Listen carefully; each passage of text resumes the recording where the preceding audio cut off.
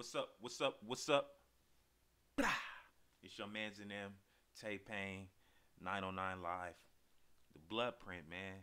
AKA Who Says It Never Rains in Southern California.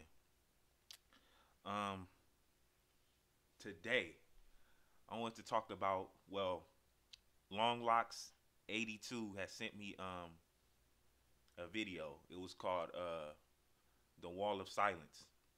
Um basically saying how uh basically saying the black the black man will put up a wall of silence and will stop talk what I got from was the black man will stop talking to the black woman. Um as as as as as hard as I want to go in on this, well I would okay. I would have went hard harder or hard um years back about this. But now I'm in a different space. So, I mean, it's really it's really like really no I mean, it was a good it was a good video.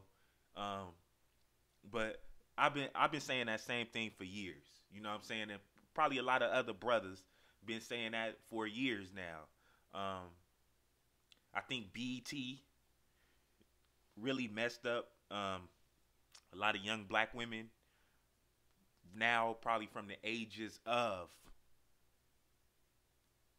29 to 30 maybe a little bit older than that maybe 32 to the the teenagers that's coming out now um you know a lot of the superheads the Kat Stacks um the various other you know video mongrels, hoes, whatever you want to call them. Um, and with uh, it, with this new wave of of you know sucking dick on camera, you know, um, I think the black woman's stock has dropped tremendously. Like if it was if we was doing the Nasdaq, then the stock would plummet because I mean, it just the the whole behavior, man, is just is is crazy. Like so, black men I think to me personally, black men, man, want somebody that's like, you know, have two sides to them. Usually, me personally, when I see black, like black women coming up, you got. Don't get me wrong. It's it's it's they they they're sprinkled. They're sprinkled where you get a good balance out of them. You know what I'm saying? I know a lot of them. Um, but there, but then you do have that. You know, they one is too serious. You know, just a tight ass, a blowhard, too serious, over the top with it, over top with the whole black power, uh, black black woman. I, I am a black woman. Hear me roar, uh, mumbo jumbo.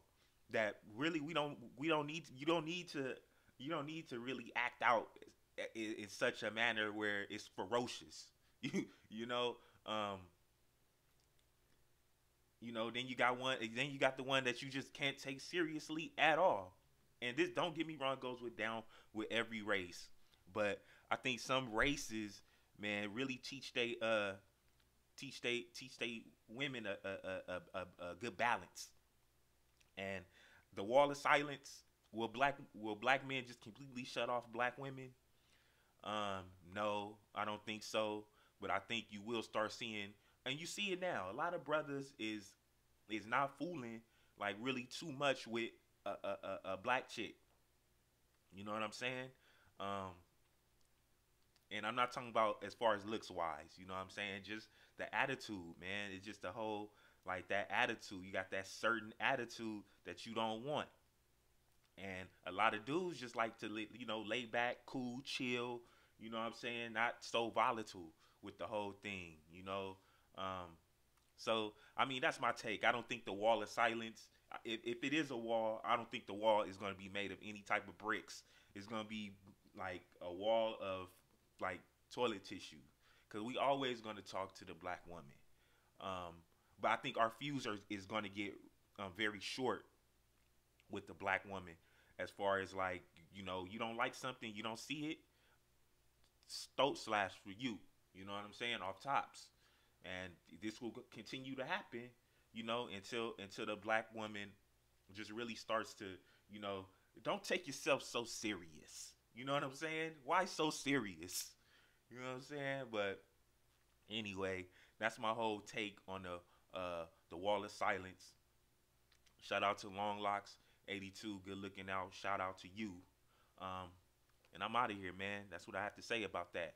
West LA up. Peace out.